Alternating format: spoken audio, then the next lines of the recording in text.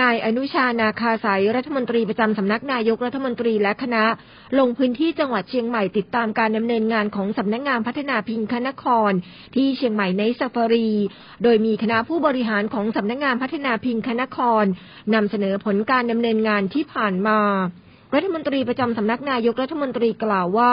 เชียงใหม่ในซาฟารีเป็นองค์กรที่สามารถช่วยเหลือตนเอง โดยไม่ต้องพึ่งพาอาศัยงบประมาณจากภาครัฐ สามารถผ่านวิกฤตต่างๆ มาได้ แสดงให้เห็นถึงศักยภาพในการบริหารคาดหวังให้เป็นการท่องเที่ยวที่น่าสนใจ น่าตื่นเต้น น่าค้นหาระดับโลก เป็นธีมพาร์คที่สร้างรายได้จากการท่องเที่ยวเข้าสู่ประเทศ ซึ่งสามารถรองรับได้ทั้งนักท่องเที่ยวจากต่างประเทศและนักท่องเที่ยวภายในประเทศ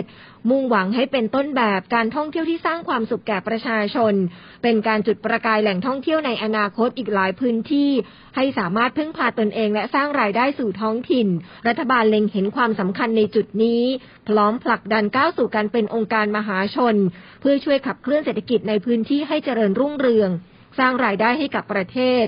พร้อมทางให้นำเอาเทคโนโลยีมาช่วยสร้างความตื่นเต้น ให้กับนักท่องเที่ยว สร้างความน่าสนใจ สร้างความประทับใจให้กับนักท่องเที่ยวมากยิ่งขึ้น พิมลกันเดชาชัย ทีมข่าวสวทเชียงใหม่ รายงาน